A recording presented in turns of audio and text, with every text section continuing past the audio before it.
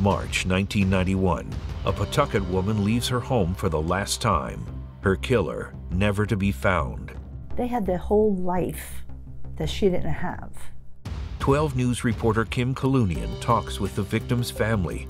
Hear their desperate plea for justice. Someone knows something. It's been 31 years. Who killed Wendy Madden?